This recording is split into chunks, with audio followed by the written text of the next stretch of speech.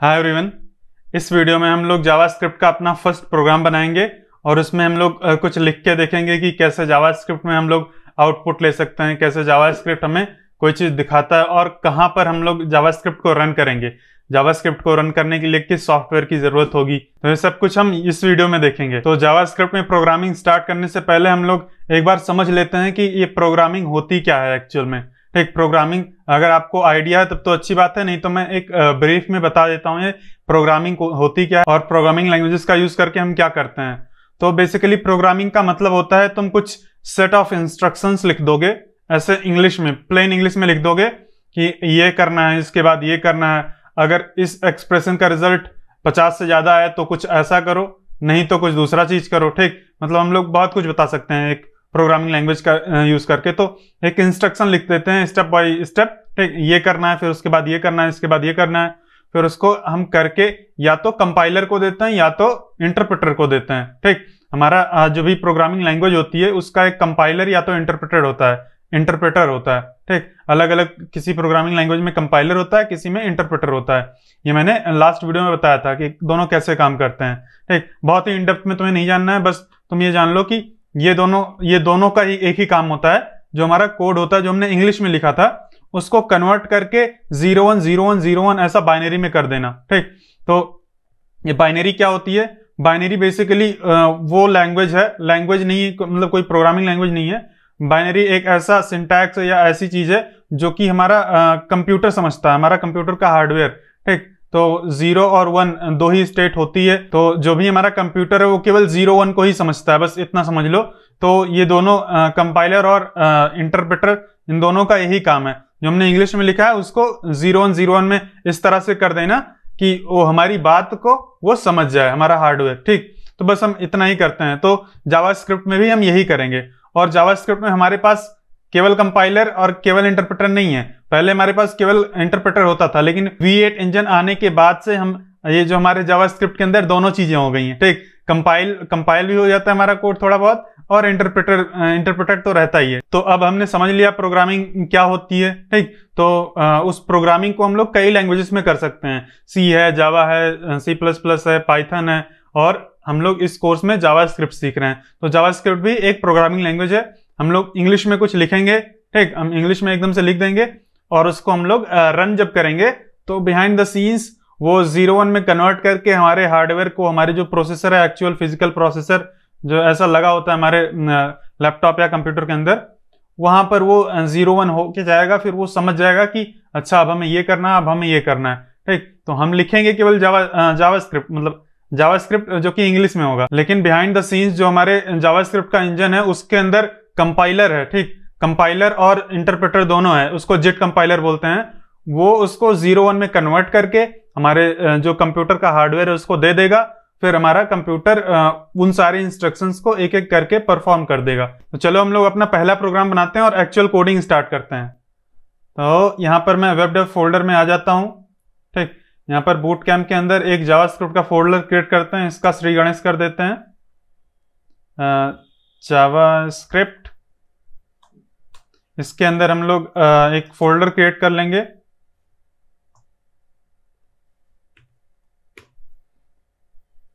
Hello world hello world नाम से हमने फोल्डर क्रिएट कर लिया। अब इसको ओपन कर लेते हैं, ठीक। हेलो वर्ल्ड प्रोग्रामिंग में सब लोग मतलब कोई भी फ़र्स्ट प्रोग्राम बनाता है तो उसमें हेलो वर्ल्ड सब लिखते हैं, ठीक। तो हम लोग भी हेलो वर्ल्ड लिखेंगे। और ये मैटर नहीं करता तुम लिखने को कुछ भी लिख सकते हो अपना नाम लिख सकते हो लेकिन हम लोग हेलो वर्ल्ड करेंगे पूरी दुनिया से हेलो करेंगे ठीक? तो अब ये हमारा जावा स्क्रिप्ट कहाँ पर रन होगा ठीक? किधर रन होगा कैसे रन करेंगे?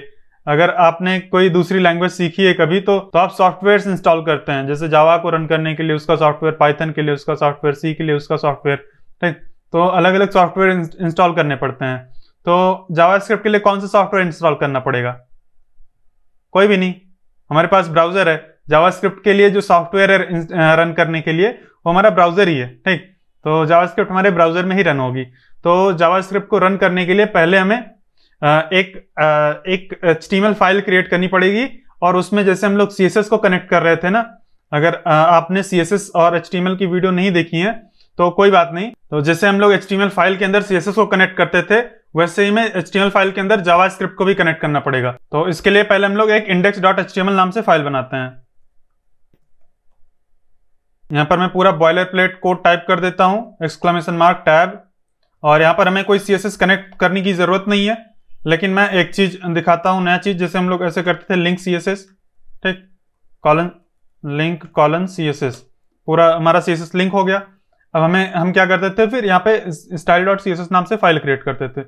लेकिन अगर तुम चाहो तो कंट्रोल क्लिक करोगे इस पे तो ये बोलेगा ये आ, ये क्या कंट्रोल क्लिक करने पे वो फ़ाइल खोलने की कोशिश करता है लेकिन ये बोलता है unable to open this file मतलब वो फ़ाइल एग्जिस्ट नहीं करती है तो क्रिएट कर दो फ़ाइल ये अपने आप क्रिएट हो गई है ना? मस्त चीज़। इसको हम लोग सी uh, को लिंक नहीं करेंगे क्योंकि हम लोग सी एस यहाँ पे ऐड करने नहीं जा रहे हैं।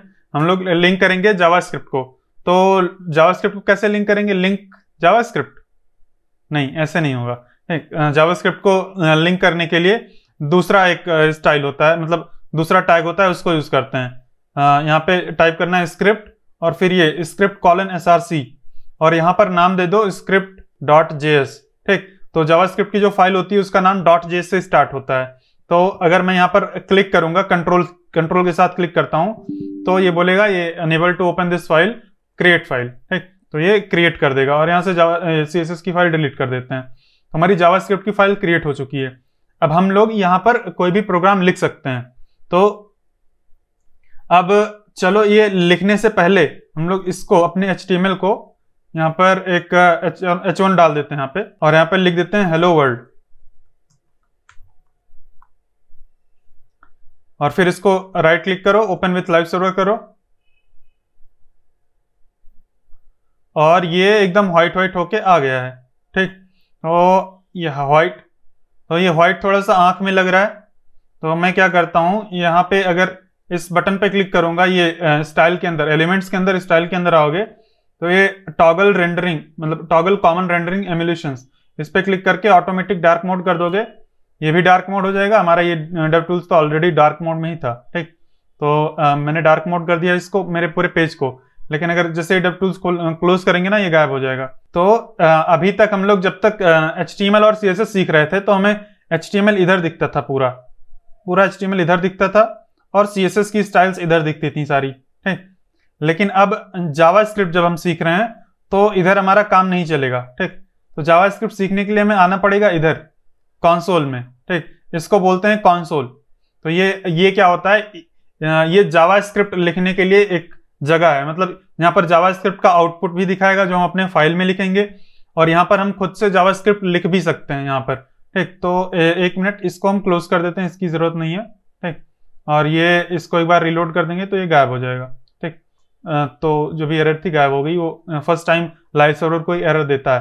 तो ये हमारा कंसोल है यहाँ पर हम लोग जावा स्क्रिप्ट का आउटपुट देख सकते हैं और यहाँ पर हम लोग जावा स्क्रिप्ट खुद भी लिख सकते हैं। तो हम जो भी यहाँ पर जावा स्क्रिप्ट फ़ाइल के अंदर जो भी लिखेंगे, इसका रिज़ल्ट हमें इधर दिखेगा। तो यहाँ पर ये जो भी खुल के आया है ना, इसको तुम कॉन्सोल बोल सकते हो, ठीक? लेकिन इसको एक्चुअल में बोलते हैं REPL R E P L इसका फुल फॉर्म होता है read eval print loop eval का मतलब इवेलुएट ठीक? तो मतलब इसका मतलब है, जो हमारा कोड लिखा जाएगा, इसको रीड करो। इसका आंसर इवेलुएट करो, ठीक? इवेलुएट मतलब कैलकुलेट करो और उसको प्रिंट करो और फिर से उसी जगह पे आ जाओ, ठीक? तो लूप का मतलब होता है फिर से घूम के उधर ही आ जाओ, ठीक? तो अभी हम लोग देखेंगे इसका मतलब एग्जैक्टली कैसे काम करता है। तो अब हम अगर जावास्क्रिप्ट फ़ाइल में आ जाते हैं और यहाँ पर हम एक एक कुछ भी प्रिंट कराने की कोशिश करें तो जैसे अगर किसी ने सी सीखा होगा तो वहाँ पे हम लोग प्रिंट एफ़ यूज़ करते हैं सी में सी सी प्लस प्लस में सी आउट यूज़ करते हैं पाइथन में प्रिंट लिखते हैं, फिर उसके अंदर कुछ लिख देते हैं, हमारा जो भी आउटपुट होता है, वहाँ पे दिख जाता है। लेकिन हम जो जावा स्क्रिप्ट में अगर हमें कुछ आउटपुट दिखाना है तो हमें लिखना होगा कॉन्सोल डॉट लॉग ठीक? कॉन्सोल डॉट लॉग ये लिखना है और फिर ये पैरेंथेसिस करना है और, और, मतलब ओपन एंड क्लोज पैरेंथेसिस करना है। और फिर ये सिंगल कोट लगा दो ठीक?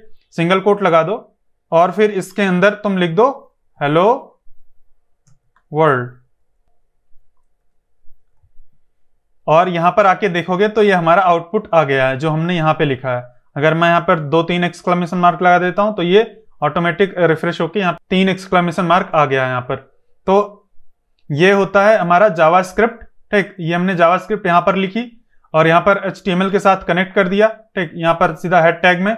वैसे तुम देखोगे बहुत लोग नॉर्मली यहाँ पर कनेक्ट करते हैं, इधर से हटा देते हैं मतलब बॉडी के अंदर लास्ट में कनेक्ट करते हैं।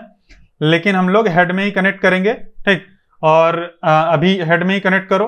हेड में कनेक्ट करने का कुछ फ़ायदा होता है, कुछ नुकसान भी होता है। वो हम लोग आगे चले, जब आगे चलेंगे तो उसका फ़ायदा और नुकसान दोनों देखेंगे। और यहाँ पर बॉडी में कनेक्ट करने का दूसरा फ़ायदा और दूसरा नुकसान होता है, ठीक? तो ओवरऑल जो फ़ायदा है, यहाँ पर हेड में तुम्हें मिलेगा। तो इसीलिए जो हम लिखेंगे, जो भी हम कनेक्ट करेंगे अपना जो जावा स्क्रिप्ट है, वो हेड में ही करेंगे। तो अब देखो, ये समझते हैं, एक बार हमारा ये पूरा एचटीएमएल के साथ जावा स्क्रिप्ट कनेक्ट किए हैं फिर ये सब कुछ कैसे काम काम हो रहा है। तो देखो क्या होता है जब भी हम इस यूआरएल को ब्राउज़र में इंटर करते हैं मैं न्यू टैब खोल लेता हूँ और यहाँ पर आ, मैं इंस्पेक्ट इंस्पेक्ट खोल लेता हूँ ठीक? इंस्पेक्ट यानी कि ये हम अपना डेव टूल्स खोल के और नेटवर्क टैब में एक बार जाते हैं ठीक? नेटवर्क टैब में हम आ गए हैं अब यहाँ पर हम प्रेस करेंगे एंटर और तुम देखना क्या क्या रिक्वेस्ट मतलब यहाँ पर रिक्वेस्ट कुछ गई है, ठीक? सर्वर को रिक्वेस्ट गई है, ये इंडेक्स डॉट एच के ऊपर रिक्वेस्ट गई है, और फिर स्क्रिप्ट डॉट जीएस के ऊपर रिक्वेस्ट गई है। तो जैसे ही हम URL पे इंटर करते हैं, ये मैंने एच रिक्वेस्ट और रिस्पॉन्स की वीडियो में बहुत ही अच्छे से बताया है। अगर ये वीडियो तुमने देखा होगा तो तुम्हें एकदम अच्छे से समझ आ जाएगा कि मैं यहाँ पे क्या कर रहा हूँ और क्या बता रहा हूँ। अगर तुमने वो वीडियो नहीं देखा होगा तो हो सकता है तुम्हें मुश्किल हो यहाँ पर। वो जो पूरा वेब डेवलपमेंट का बूट कैंप है ना, उसमें इंटरनेट के बाद जो नेक्स्ट वीडियो है watch this before learning H वही वीडियो है ये। ठीक उसी वीडियो के अंदर मैंने ये बताया था। तो अब मैं क्या करता हूँ, देखो, हमारा जब हम, जब हमने यहाँ पर ब्राउज़र में एंटर किया ना तो ये रिक्वेस्ट गई हमारे इंडेक्स डॉट एच पर। तो जो हमारा लाइव सर्वर है, इसने एक छोटा सा सर्वर क्रिएट किया है। तो इसने हमारे ब्राउज़र को ये एच फ़ाइल दे दी। यहाँ पर अगर क्लिक करोगे और रिस्पॉन्स में जाके क्लिक करोगे तो देखो हमारी पूरी एचटीएमएल फ़ाइल है, ठीक? और फिर यहाँ पर जो ये वेब सॉकेट लिख के आता था, इसको मैंने बोला था, इसको इग्नोर कर दो। ये लाइव सर्वर खुद से इंजेक्ट कर रहा है, यहाँ पे लिख के आ रहा है, ठीक? तो इसको तुम इग्नोर कर देना। और यहाँ पर हमने जो लिखा था हेलो वर्ल्ड वो आ रहा है। तो तो फिर यहाँ पर क्या होता है, जैसे ये रिस्पॉन्स हमारे सर्वर ने भेजा हमारे ब्राउज़र को तो ब्राउज़र ने उस एचटीएमएल को समझना शुरू किया लाइन नंबर वन से यहाँ से समझना शुरू किया। और फिर उसने एक एक लाइन करके एक एक लाइन करके उसका टाइटल लगा दिया टाइटल डॉक्यूमेंट ये डॉक्यूमेंट यहाँ पे हमें दिख रहा है। और फिर उस, फिर उसके बाद ये पहुँचा इस लाइन पर।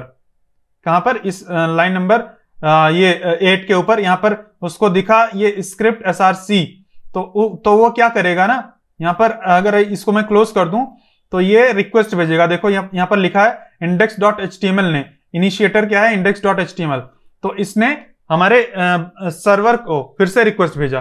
ठीक, ये जो हमारा इंडेक्स डॉट एच है, इसने सर्वर को रिक्वेस्ट भेजा कि मुझे स्क्रिप्ट डॉट जेएस फ़ाइल चाहिए। ठीक तो फिर से सर्वर उसको भेजेगा ये स्क्रिप्ट डॉट जेएस फ़ाइल तो अगर हम इसका नाम स्क्रिप्ट डॉट जेएस चेंज करके, मान लो यहीं पे चेंज कर देते हैं, यहीं पर चेंज करके स्क्रिप्ट टू डॉट जेएस कर देते हैं तो ये देखो अगर रिलोड करेंगे यहाँ पर प्रिजर्व लॉग ऑन है तो इसीलिए हमारा पेज जितनी बार रिलोड हो रहा है ये सारा यहाँ पे दिखता जा रहा है दिखता जा रहा है मतलब पुराना डिलीट नहीं हो रहा है।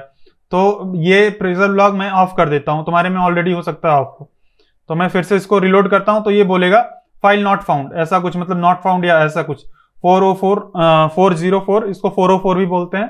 फोर फोर नॉट फाउंड तो इस नाम की कोई फ़ाइल ही नहीं है तो इस, इसको मिली ही नहीं फ़ाइल तो मैं इसको कंट्रोल जेड कर देता हूँ, नहीं तो हमारी फ़ाइल आएगी ही नहीं सर्वर से रिस्पॉन्स ही नहीं आएगा। तो अब मैंने हाँ तो हमारे ब्राउज़र ने इस स्क्रिप्ट डॉट जेएस फ़ाइल को भेजा तो फिर वो स्क्रिप्ट डॉट जेएस फ़ाइल को रन करने लगेगा। तो फिर ये स्क्रिप्ट जेएस फ़ाइल हमारे ब्राउज़र के अंदर आ जाती है और यहाँ पर देखो रिस्पॉन्स पे अगर क्लिक करोगे तो जो हमने कोड लिखा था इसके अंदर स्क्रिप्ट डॉट जेएस के अंदर, वो यहाँ पर दिख रहा है। और फिर हमारा ब्राउज़र उस कोड को रन करने लगता है। तो इसमें अगर तुम 1000 लाइन लिख दोगे ना तो उस सारी 1000 लाइंस को रन करेगा, फिर उसके बाद आगे जाएगा। तो जैसे यहाँ पर ये हमारी स्क्रिप्ट डॉट जेएस फ़ाइल आ गई तो इसके अंदर जितनी भी जितना भी कोड होगा, उन सबको रन करेगा, फिर उसके बाद आगे बढ़ेगा। तो हम इस स्क्रिप्ट टैग को चाहें तो एक ऐसी चीज़ बता दें डिफर अगर यहाँ पे लिख देंगे तो इससे क्या होगा, हमारे सर्वर को रिक्वेस्ट चली जाएगी, और हमारा एच आगे बढ़ जाएगा कि आगे हमारा हेलो वर्ल्ड है, उसको दिखा देते हैं। आगे और भी चीज़ें हैं तो उसको लोड कर लेते हैं और उसको इमेजेस को दिखा देते हैं। और ये हमारा, ये डिफर लगाने से क्या होगा? जो हमारी पूरी एच खत्म हो जाएगी, यहाँ पर बॉडी में आके जब एंड हो जाएगी जब सब कुछ दिखा देगा, उसके बाद जावास्क्रिप्ट को रन करेगा। तो हम यहाँ पर डिफर अभी लगाएँ, चाहे ना लगाएँ, कोई फ़र्क नहीं पड़ेगा। लेकिन जब हम लोग एच से इंटरेक्ट करेंगे जावास्क्रिप्ट का यूज़ करके हम लोग एच को चेंज कर सकते हैं, ठीक? तो जब हम लोग जावास्क्रिप्ट का यूज़ करके एच को चेंज करेंगे, जो हमारा करंट एचटीएमएल जैसे यहाँ पे हेलो वर्ल्ड है ना तो इसको चेंज करके तुम हाई वर्ल्ड कर सकते हो, अपना नाम लिख सकते हो जावास्क्रिप्ट का यूज़ करके। तो अगर तुम यहाँ पर पहले ही कर दोगे, तब नहीं होगा। उस केस में क्या होगा, ये पहले ही उसको दिखेगा ही नहीं। मतलब पहले ही उसको ब्राउज़र के अंदर ये एच आएगा ही नहीं जावास्क्रिप्ट रन हो जाएगा और कहेगा कि ये हमें, ये तो एचटीएमएल का एलिमेंट ही नहीं मिला तो एरर आ जाएगी। तो अभी के लिए तुम ऐसे ही रख दो, अभी ये डीफर लगाने की ज़रूरत नहीं है। जब हम लोग आगे बढ़ेंगे, जब हम लोग एचटीएमएल के साथ इंटरेक्शन करने लगेंगे, तब हम लोग डिफर का यूज़ करेंगे। तो ये हुआ हमारा फ़र्स्ट प्रोग्राम जो कि हमारा ये कॉन्सोल के अंदर आउटपुट आ रहा है। तो ये कैसे हो रहा है? हम लोग एचटीएमएल एक फ़ाइल बनाए, जो कि हमारी एक नॉर्मल वेबसाइट होगी कोई भी, और जो ब्राउज़र है हमारा, उस एच फ़ाइल के ऊपर रिक्वेस्ट भेजेगा, और फिर हमारी जो एच फ़ाइल है, वो जावा फ़ाइल को रिक्वेस्ट भेजेगी। जैसे हमने देखा था, हमारी जो एच फ़ाइल होती है, वो सीएसएस फ़ाइल को रिक्वेस्ट भेजती है। तो सीएसएस पूरा लोड हो जाता है हमारे पेज को, सुंदर बना देता है। ऐसे ही हमारा जो एचटीएमएल है वो जावा फ़ाइल को रिक्वेस्ट भेजेगा और हमारा जो भी सर्वर है वो जावास्क्रिप्ट फ़ाइल को रिस्पॉन्स करेगा। ठीक जावास्क्रिप्ट की फ़ाइल को हमारे ब्राउज़र को दे देगा और फिर जब ब्राउज़र को जावास्क्रिप्ट फ़ाइल मिल जाएगी, तब उसको रन करेगा हमारा ब्राउज़र और जो भी फंक्शनैलिटी इंप्लीमेंट करवानी है जो भी कैलकुलेशन में करवानी है, वो सारी हो जाएगी। तो कुछ इस तरह से हमारा एचटीएमएल और जावास्क्रिप्ट आपस में कनेक्ट होता है। तो जो कॉन्सोल लॉग हमने अपने जावास्क्रिप्ट फ़ाइल के अंदर लिखा है अगर हम लोग चाहें तो इसको हम लोग सीधा कॉपी करके और यहाँ पर भी लिख सकते हैं। जो आ, हम यहाँ से इसको कट कर देते हैं। मान लो रिमूव कर देते हैं। तो जब रिमूव कर देंगे तो कोई भी आउटपुट नहीं आएगा। यहाँ पर देखो अगर रिलोड करोगे तो कुछ नहीं आएगा। अभी तक हेलो वर्ल्ड आ रहा था। अगर मैं इसको कंट्रोल जेड कर देता हूँ तो यहाँ पे हेलो वर्ल्ड आने लगा है। तो अभी हम क्या करते हैं इसको? ये मैं यहाँ से रिमूव कर देता हूँ और यहाँ पर थोड़ा सा कोडिंग करके देखते हैं। इसको मैं जूम इन कर देता हूँ थोड़ा सा ताकि क्लियर दिखे। तो अब ये हम जो हेलो वर्ल्ड देख रहे हैं, इसकी ज़रूरत तो है नहीं। तो हम क्या कर सकते हैं, इसको इसको हम ऐसे पॉप आउट करके निकाल सकते हैं। यहाँ पर एक नया सेपरेट विंडो में निकाल सकते हैं ताकि ये मेरे पूरे स्क्रीन पे दिखे। तो हम अच्छे से कर पाएँगे कोडिंग और आप लोग को भी क्लियर दिखेगा। तो अब मैं क्या करता हूँ, यहाँ पे ये पेस्ट कर देता हूँ console dot log hello world और इसको थोड़ा सा चेंज कर देते हैं। हेलो को बोल दो, नमस्ते। ठीक, नमस्ते वर्ल्ड और फिर यहाँ पर अगर एंटर दबाओगे तो जैसे ही एंटर दबाओगे, तुम्हारा ये कोड रन हो जाएगा। ठीक? तो अभी हम क्या बोल रहे हैं? कि हम, मैंने ये कोड लिखा है इतना लंबा, ठीक? तुम इसको रीड करो। रीड करके जो भी आउटपुट दे सकते हो इसको रीड करके इवेल्युएट करो। मतलब इवेल्युएट का मतलब होता है कैलकुलेट करना। तो यहाँ पर कुछ कैलकुलेट करने वाली बात ही नहीं हमने सीधा एक, दो वर्ड लिख दिया है और उसको बोल दिया कि इसको तुम प्रिंट करवा दो। तो रीड किया इसने, फिर इवेल्युएट करने की ज़रूरत नहीं है। तो फिर इस ये क्या करेगा? प्रिंट करेगा। तो ये प्रिंट कर दिया और फिर से वैसे बन गया जैसे वो था। प्रिंट और लूप तो इसीलिए इसको बोलते हैं REPL R E P L read eval print loop ठीक? तो ये जावास्क्रिप्ट का एक रेपल है। और ये अनडिफाइंड क्या है? ये आ, हम लोग आगे चल के जब हम लोग फ़ंक्शंस देखेंगे तो हमें ये समझ आ जाएगा कि यहाँ पर अनडिफाइंड क्यों आ रहा है। तो अभी ये जो अनडिफाइंड आ रहा है उसको इग्नोर करो। तो हम यहाँ पर केवल नमस्ते वर्ल्ड या हेलो वर्ल्ड यही नहीं लिख सकते हैं। यहाँ पर आ, अगर तुम चाहो तो नंबर्स भी लिख सकते हो। तो जब हमें वर्ड्स लिखना था कोई भी वर्ड शब्द लिखना था तो हमने उसको एक एक सिंगल कोट में हमने लिख दिया। लेकिन अगर तुम्हें नंबर लिखना है तो नंबर को तुम सीधा ऐसे लिख सकते हो। मान लो तुम्हें 56 प्रिंट करवाना है। तो अगर तुम नंबर लिखोगे तो तुम्हें सिंगल कोट लगाने की ज़रूरत नहीं है। तो इसको तुम एंटर अगर करोगे तो तुम्हारा जो आउटपुट है वो 56 आ जाएगा। अगर आ, तो यहाँ पर केवल यही नहीं मतलब 56 लिख के क्या करेंगे? कोई मतलब तो है नहीं। तो 56 और तुम चाहो तो यहाँ पे प्लस फोर कर सकते हो। तो जैसे ही 56 प्लस फोर करोगे तो ये इसका, इसको अब यहाँ पे इवेल्युएशन वाला पार्ट आ गया, ठीक? तो ये क्या करेगा? इसको रीड करेगा, पढ़ेगा क्या लिखा है, फिर इसको इवेल्युएट करेगा। रीड इवेल्युएट ठीक? तो इवेल्युएट करेगा, फिर इसकी वैल्यू आएगी सिक्सटी और वो प्रिंट करवा देगा, फिर फिर से वैसे हो जाएगा जैसे था। फिर से एक छोटी सी तीर आ जाएगी और ये गायब हो जाएगा, देखना। ये देखो 60 हो गया और ये फिर से एक तीर आ गई और फिर फिर से हम लोग यहाँ पे लिख सकते हैं। मतलब घूम घूम के बार बार वहीं पे आ रहे हैं। तो इसीलिए इसको बोलते हैं read evaluate print loop read eval print look REPL short form में। तो इसको मैं क्लियर कर देता हूँ। तो यहाँ पर अगर तुम चाहो तो कॉन्सोल लॉग लिखने की ज़रूरत नहीं है। यहाँ पर तुम केवल 56 प्लस सिक्सटी अगर लिखोगे six fifty six plus four हमने किया था तो ये सिक्सटी आ जाएगा रिज़ल्ट तो यहाँ पर सीधा इस एक्सप्रेशन को वो रीड कर रहा है फिर इवेलुएट कर रहा है और प्रिंट करके फिर से वो लूप कर रहा है फिर से वैसे हो जा रहा है जैसे पहले था। तो अगर तु, अगर तुम यहाँ पर लिखते हो ठीक यहाँ पर अगर मैं कॉपी कर लेता हूँ इसको और इधर से ये अच्छा आपको बताया नहीं मैंने ये जो बटन है ना ये क्लियर की बटन है।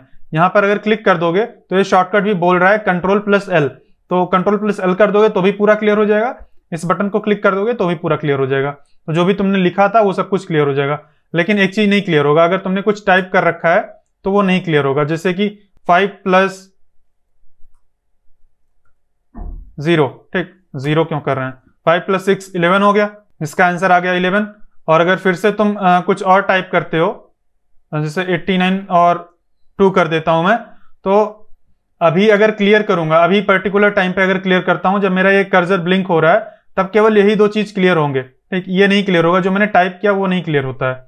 तो ये देखो, इतना रहेगा। तो जो भी रिज़ल्ट आया होता है जो भी उसने रीड इवेलुएट प्रिंट करके जो भी वो करके लूप कर दिया होता है मतलब रीड करके इवेलुएट कर दिया होता है और उसको प्रिंट कर दिया होता है, वही चीज़ें डिलीट होती हैं। तो जो तुमने टाइप किया, वो नहीं डिलीट होगा। तो इसको तुम अब इसको तुम मैंने बटन से अभी तक क्लियर करके दिखाया था, अब कंट्रोल एल करोगे, तब डिलीट हो जाएगा ये। और एक चीज़ अगर करोगे अच्छा अभी ये मैंने क्या किया? तुमने जो भी प्रीवियस जो भी कोड लिखा था ना, अगर तुम्हें उसको लेके आना है तो क्या कर सकते हो? अप एरो कर सकते हो। अगर मैं अप एरो करता हूँ तो ये एट प्लस टू आ रहा है। अगर फिर से अप एरो करता हूँ तो ये फाइव प्लस सिक्स आ रहा है, क्योंकि इसके पहले मैंने किया था। अगर उससे पहले मैं करता हूँ तो ये आ रहा है। फिर उसके पहले ये किया था, फिर उसके पहले ये किया था, उसके पहले ये किया था। आपको याद होगा, फिर उसके पहले ये बहुत पहले किया था, जब आपने देखा ही नहीं इस वीडियो के, आज से बहुत पहले किया था, ठीक? तो ये देखो, ये मतलब बहुत पुराना पुराना यहाँ पे दिखा रहा है। तो और फिर मैं डाउन एरो जब दबाऊँगा तो ये उल्टा होगा मतलब बाद बाद वाला आने लगेगा। तो मैं यहाँ पे अगर अप एरो दबा के फिर से इसको करता हूँ, और फिर यहाँ पर एक चीज़ और लिख सकते हैं क्लियर क्लियर करके ऐसे कर देंगे तो भी ये कॉन्सोल क्लियर हो जाएगा और यहाँ पे मैसेज भी दे रहा है। कॉन्सोल वॉज़ क्लियर तो मैं ऐसे ब्रैकेट लगाना होगा, लेकिन ये तो बहुत लंबा है। इसको लिखने की कोई ज़रूरत नहीं है मतलब यूज़ करने की। कंट्रोल एल सीधा दबाओ, एकदम से क्लियर हो जाएगा। और वो क्लियर एकदम से क्लियर भी नहीं कर रहा है। ये ये ये देखो हमारा, देखो, अभी देखो हमारा कॉन्सोल एकदम से क्लियर है, ठीक? और क्लियर को अगर हम क्लियर वाले फ़ंक्शन को चलाएँगे ना तो क्लियर की जगह पे और क्लटर हो गया। एक अनडिफाइंड आ गया और ये बोल रहा है कॉन्सोल वॉज़ क्लियर तो क्लियर करता है, लेकिन ये अपना मैसेज खुद का छोड़ देता है तो इसको नहीं यूज़ करना है। एकदम से नहीं क्लियर करेगा। कोई बात नहीं। तो यहाँ पर हम लोग ऐसे अगर फाइव प्लस सिक्स लिखते हैं तो इसका रिज़ल्ट हमें यहाँ पर दिखता है। लेकिन अगर यहाँ पर लिख दोगे फाइव प्लस सिक्स सीधा ऐसे ही, सीधा ऐसे ही लिख देते हो तो यहाँ पर नहीं दिखेगा। देखो रिलोड कर रहे हैं, तब नहीं दिख रहा है। तुम जब जावास्क्रिप्ट फ़ाइल के अंदर लिख रहे होते हो तो ये रिपल नहीं है। जावास्क्रिप्ट की जो हमारी फ़ाइल है, वो रिपल नहीं है। रीड इवेलुएट प्रिंट लूप ठीक? तो यहाँ पर हम लोग ये नहीं बोल रहे हैं कि जब हम लोग यहाँ पर फाइव प्लस सिक्स लिख दे रहे हैं तो रीड तो कर रहा है और इवेलुएट भी कर रहा है अंदर ही अंदर, ठीक? लेकिन उसको प्रिंट नहीं कर रहा है। उसको प्रिंट तब करेगा जब हम लोग इसको बोलेंगे कॉन्सोल डॉट लॉग तो हमें ये कॉन्सोल डॉट लॉग काफ़ी लंबा लिखना पड़ रहा है बार बार तो मैं एक काम करता हूँ एक एक्सटेंशन होता है। देखो मैंने कॉन्सोल डॉट लॉग लिख दिया तो ये आ गया है यहाँ पर। तो इतना लंबा ना लिखना पड़े इसके लिए हम एक एक्सटेंशन डाउनलोड कर सकते हैं। एक्सटेंशन टैब में जाओगे तो यहाँ पर ई एस सिक्स लिखो। हमने जो देखा था ना वो आ, वही है ई एस सिक्स यानी कि जावा स्क्रिप्ट ये जावा स्क्रिप्ट और ई एस सिक्स ये आ गया। सीधा जावा स्क्रिप्ट लिखोगे तब भी आ जाएगा मुझे लगता है। ई एस जावा स्क्रिप्ट में लिख रहा हूँ। जावा स्क्रिप्ट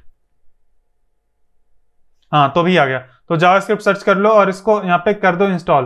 तो इसके ये छोटे छोटे स्निपेट्स स्निपेट्स मतलब ये होता है कि तुम थोड़ा सा लिखोगे और ये काफ़ी ज़्यादा तुम्हें अपने आप सजेशन दे देगा। तो आ, मैंने उसको इंस्टॉल कर लिया तो अब मुझे इतना ज़्यादा नहीं लिखना है।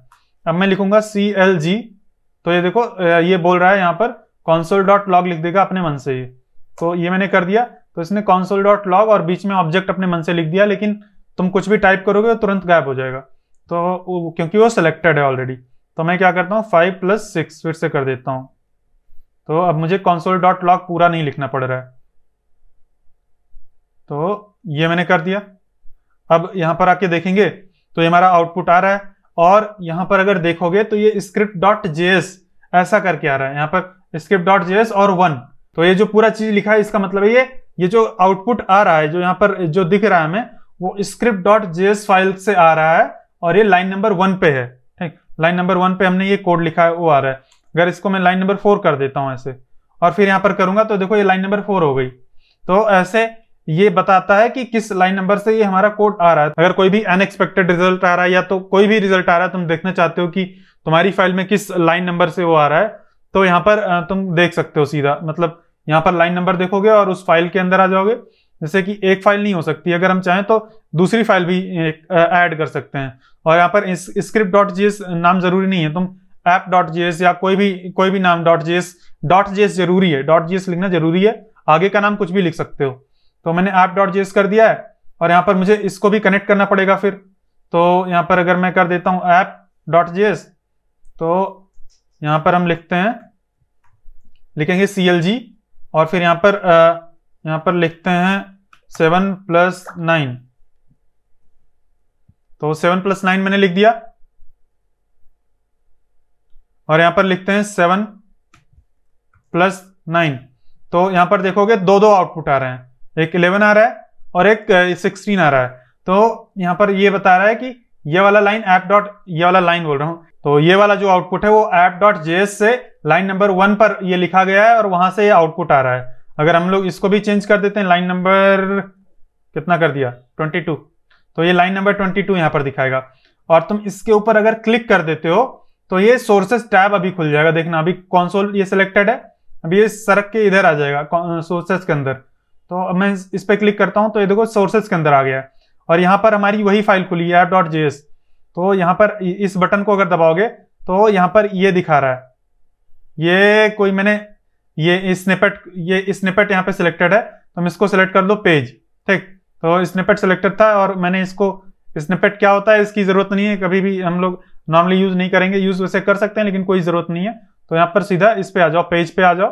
और तुम्हें ये फ़ाइल दिखेगी तुम्हारी ये इंडेक्स डॉट एच फ़ाइल और यहाँ पर ये तुम्हारा दिखा रहा है इस यूआरएल पर इस पर्टिकुलर पोर्ट पर पोर्ट यानी कि ये फाइव फाइव ज़ीरो पोर्ट क्या होता है इग्नोर करो कोई मतलब नहीं है कोई भी ज़रूरत नहीं है अभी। तो मैंने इसको बताया वैसे उस वीडियो में पोर्ट आ, क्या होता है बहुत ज़्यादा डिटेल में वहाँ भी नहीं बताया क्योंकि अभी ज़रूरत नहीं है। तो यहाँ पर आ, मतलब यही बता रहा है कि इस पर्टिकुलर यूआरएल के अंदर तुम्हारे यहाँ पे तीन फाइल्स हैं H T M L index dot H T M L dot G S और स्क्रिप्ट डॉट जी एस तो ये स्क्रिप्ट डॉट जी एस ये है और ये ऐप डॉट यहाँ पे अनेबल टू फैच है ये। कोई मतलब थोड़ा सा दिक्कत हो गई हो थोड़ा सा रिलोड कर दो, आ जाएगी। तो ये हमारी ऐप डॉट जी एस है, ये ऐप डॉट जी एस है और ये स्क्रिप्ट डॉट जी एस है। यहाँ पर चार लाइन्स हैं और यहाँ पर बाईस लाइन्स हैं। तो ये इधर हमारा जो भी जावास्क्रिप्ट जो हमारा सर्वर भेजता है ना, वो सारा जावास्क्रिप्ट नहीं, कोई भी फाइल्स कोई भी कोई भी फाइल्स हो, सारी जो भी हमारी सीधा कोड के अंदर होती हैं, वो यहाँ पे आ जाती हैं। यहाँ पर एकदम एग्जैक्टली वैसे ही दिखती रहती हैं। तो तुम यहाँ से आके देख सकते हो एकदम हमारे ब्राउज़र के अंदर कौन सी फ़ाइल आ रही है कहाँ से आ रही है। तो जब हम यहाँ पर क्लिक करेंगे स्क्रिप्ट पे अगर क्लिक करेंगे स्क्रिप्ट जेस पे तो यहाँ पर ये लाइन नंबर फोर फोर पे आ, आ जाएगा। और ये हल्का सा हाईलाइट भी होता है ग्रीन कलर में देखना। मैं क्लिक करता हूँ ये थोड़ा सा हाईलाइट होकर फिर गायब हो रहा है। यानी कि ये इस पर्टिकुलर लाइन नंबर से यहाँ पर ये रिज़ल्ट आ रहा है। तो कुछ इस तरह से हमारा जावा और एचटीएमएल आपस में कनेक्टेड होता है और इस तरह से काम करता है हमारा ब्राउज़र हमारा जो सर्वर है वो जावा को हमारे ब्राउज़र को देता है, फिर ब्राउज़र उसको यहाँ पर सोर्सेज टैब के अंदर रख लेता है और फिर उसको एग्जीक्यूट करता है। वैसे मतलब सीधा जैसे ही आती एग्जीक्यूट कर देता है और उसको यहाँ पर हम लोग सोर्सेस के अंदर देख सकते हैं क्या आया है। हाँ तो इसको हटा देते हैं। इसको अभी रहने दो। इसको मतलब इसके अंदर से मैंने हटा दिया चीज़ें और इसमें ऐसे रहने देते हैं। तो थोड़ा सा हम लोग समझ लेते हैं जावा जावा स्क्रिप्ट का यूज़ करके मैथमेटिकल कैलकुलेशन कैसे करते हैं। तो ऐसे ही कर सकते हैं ठीक? तो यहाँ पर नहीं करते हैं यहाँ पर यहाँ पर हटा दो यहाँ पर कमेंट कर दो इसको। तो अगर अभी सोर्सेस में जाके देखोगे तो ये ऐप डॉट जीएस के अंदर ये एक बार रिलोड कर दो ये रिलोड नहीं हुआ शायद। ऐप डॉट जीएस के अंदर अभी भी आ, ये है। एक सेकेंड ऐप डॉट जीएस खुल जा। हाँ ये है देखते हैं। ये मैंने हटाया नहीं। मैंने कंट्रोल जेड किया था, लेकिन ये इतना बाईस लाइन है तो अभी दो लाइन ही हटी है, ठीक? तो इसको मुझे लगा था मैंने गैप कर दिया इसको। तो इसको कंट्रोल जेड कर दो। तो इसको मैंने कर दिया कंट्रोल जेड कंट्रोल जेड तो ये हमारी जो ऐप डॉट जेस फ़ाइल है, वो खाली हो गई है। तो यहाँ पर भी ये खाली दिखा रहा है और दिखा रहा है एक ही लाइन है, ठीक? मतलब एक लाइन है, उसमें भी कुछ है नहीं। तो ये हो गई हमारी ऐप डॉट जेस और ये हो गई स्क्रिप्ट डॉट जेस अब ये कमेंट अच्छा मैंने बताया नहीं कमेंट कैसे करते हैं और क्या है। तो ये कंट्रोल स्लैश दबाओगे, ठीक? तो ये कंट्रोल स्लैश अगर दबा, दबाते हो तो ये कोई भी चीज़ कमेंट हो जाती है। जैसे हम उस पर सी में और जावा में कर रहे थे, वैसे ही। कंट्रोल स्लैश दबाएँगे, सीधा कमेंट हो जाएगा और इसके आगे ये स्लैश स्लैश लग के आ जाता है। तो अगर तुम खुद से भी कंट्रोल स्लैश नहीं दबाते हो, खुद से भी स्लैश स्लैश लगा देते हो तो वो कमेंट हो जाएगा। कमेंट का मतलब होता है ये तुम्हारा कोड इसके अंदर है, लेकिन जावास्क्रिप्ट उसको समझने की कोशिश नहीं करेगा, उसको इग्नोर कर देगा। उसको बस ऐसे स्किप कर देगा ये। उसको ये पता चल जाता है कि इस कोड को रन नहीं करना है, बस उसको लिखा रहने दो। ऐसे हम लोग जावास्क्रिप्ट के अंदर कमेंट्स दे सकते हैं। तो मान लो कोई बड़ा सा कोड लिख रहे हो ना तो उसके अंदर कमेंट्स देना छोटे छोटे ज़रूरी होता है। ज़रूरी वैसे कोड रन करने के लिए ज़रूरी नहीं होता है। तुम्हें खुद बाद में समझने के लिए ज़रूरी होता है और कोई दूसरा तुम्हारा कोड समझे, उसके लिए ज़रूरी होता है। कि मान लो कि तुम एक प्रोग्राम बनाए हो जो कि किसी का स्क्वायर रूट निकाल रहा है। तो तुम ऐसे लिख सकते हो this this program calculates the square root of a number ऐसा कुछ लिख सकते हो ताकि समझने में तुरंत आसानी हो जाए कि हाँ ये प्रोग्राम एक स्क्वायर रूट को कैलकुलेट करेगा। बहुत ज़्यादा दिमाग ना लगाना पड़े। हाँ तो ये मैंने कमेंट कर दिया इसको। और तो वही ये कमेंटेड यहाँ पे दिखा रहा है। तो अब मैं क्या करता हूँ, अपनी इस स्क्रिप्ट डॉट जीएस फ़ाइल में चला जाता हूँ। और यहाँ पर मैं इसको अनकमेंट कर देता हूँ। और यहाँ पर हमने किया था फाइव प्लस सिक्स तो यहाँ पर कॉन्सोल में एक बार इसको स्विच कर लेते हैं। ताकि हमें कंसोल में इसका रिज़ल्ट दिखता रहे तो मैं क्या करता हूँ? इसको थोड़ा सा बड़ा कर लेते हैं। इतना बड़ा। तो अभी हाँ ये फाइव प्लस सिक्स किया अब इसमें केवल इतना ही नहीं तुम आगे इसको माइनस भी कर सकते हो माइनस फोर कर दो। फाइव और six eleven minus four equal to seven यहाँ पे रिज़ल्ट आ रहा है सेवन तो आ, अभी इसको इतना ही नहीं अभी आगे भी बढ़ा सकते हो। तो अगर मैं इसको मल्टीप्लाई मल्टीप्लाई के लिए स्टार सिंबल यूज़ करते हैं तो स्टार करके यहाँ पे कर दोगे मान लो फाइव कर देते हैं। तो क्या होगा? अब यहाँ पर तुम गेस करो और रिज़ल्ट गेस करने की कोशिश करो। ट्राई करो गेस करने की कोशिश करो, क्या होगा इसका रिज़ल्ट तो इसका रिज़ल्ट गेस करो और बताओ। तो मैं तो मैं उम्मीद करता हूँ आपने गेस कर लिया होगा इसका आउटपुट तो ये फोर फाइव से ट्वेंटी और फाइव और सिक्स इलेवन तो इलेवन माइनस ट्वेंटी कितना होगा? Minus nine. तो ये देखो माइनस नाइन यहाँ पे रिज़ल्ट आ रहा है इसका। तो अगर मैं चाहूँ तो इसको डिवाइड भी कर सकता हूँ। तो डिवाइड बाई फाइव नहीं करते हैं क्योंकि ये थोड़ा सा पॉइंट्स में हो जाएगा। तो इसको मैंने ये टू कर दिया। तो अब क्या होगा ये आप इसका रिज़ल्ट गेस करने की कोशिश करो। तो मैं उम्मीद करता हूँ आपने इसका रिज़ल्ट सही गेस किया होगा इसका रिज़ल्ट होगा नाइन। तो मैं यहाँ पर कर देता हूँ मल्टीप्लाई फोर। ठीक तो इसका रिज़ल्ट हो जाएगा आ, कितना होगा इसका रिज़ल्ट? गेस करो इसका रिज़ल्ट तो इसका रिज़ल्ट पहले आ रहा था नाइन ठीक? लेकिन अब ये नाइन मल्टीप्लाई बाई फोर नहीं होगा, नौ चौक छत्तीस नहीं हो जाएगा। पहले ये यहाँ पे डिवीज़न कैलकुलेट होगा, फिर मल्टीप्लीकेशन कैलकुलेट होगा। तो ये डिवीज़न कैलकुलेट होके दो हो जाएगा, फिर फोर टू जा एट ठीक?